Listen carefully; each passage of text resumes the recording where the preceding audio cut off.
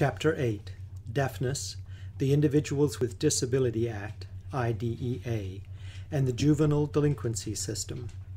Daniel Shaw, J.D.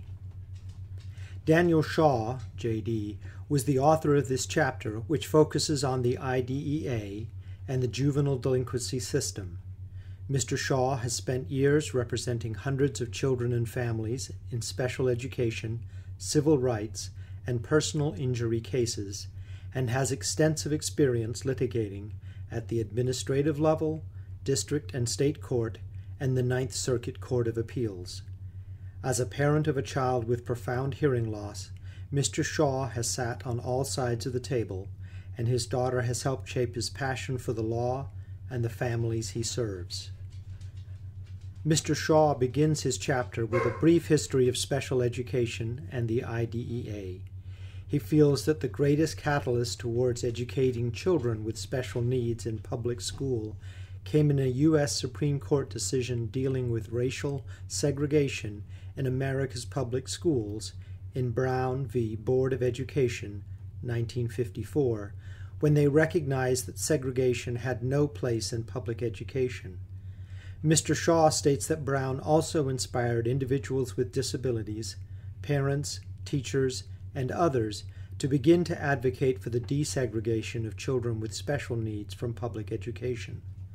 Mr. Shaw also discusses other important legislation that were essential in the development of IDEA, the author goes on to describe a brief history of the juvenile delinquency system and how it began with the presumption that children are, were worthy of rehabilitation and that society had an obligation to assist youth offenders in becoming productive members of society.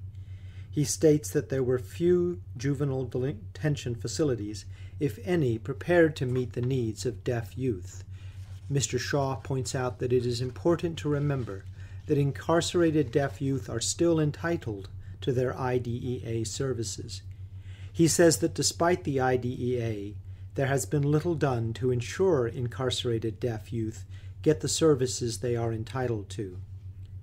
Mr. Shaw continues in his chapter with a description of the IDEA related to the delinquency system.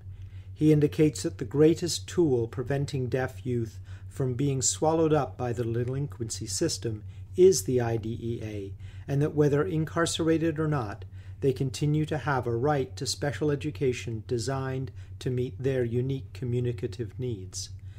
Many delinquent youths may suffer from mental health issues, and many juvenile delinquency facilities are not prepared to meet the needs of these youth.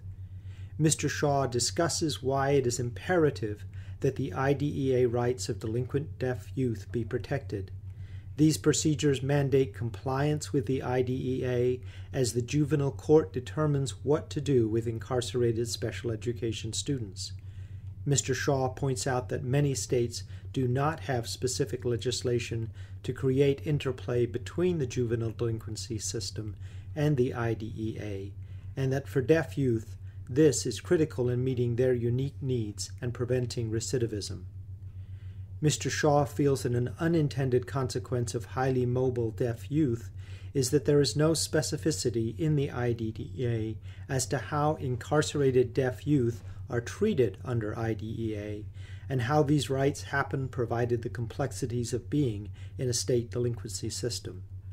Mr. Shaw uses California as an example and indicates that when deaf youth are incarcerated in that state, the responsible educational agency changes from the entity where the parent or guardian resides to the county office of education where the juvenile detention facility is located.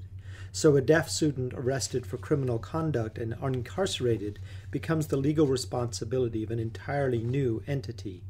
Under California law, the county office of education, where the juvenile detention facility is housed, also becomes financially responsible for the student's IDEA services. Mr. Shaw discusses how this creates a financial burden on these entities when dealing with the complexities of meeting the needs of deaf youth. For example, a deaf youth might require, besides specialized academic instruction using their preferred form of communication, cognitive behavioral therapy, or some other form of mental health intervention.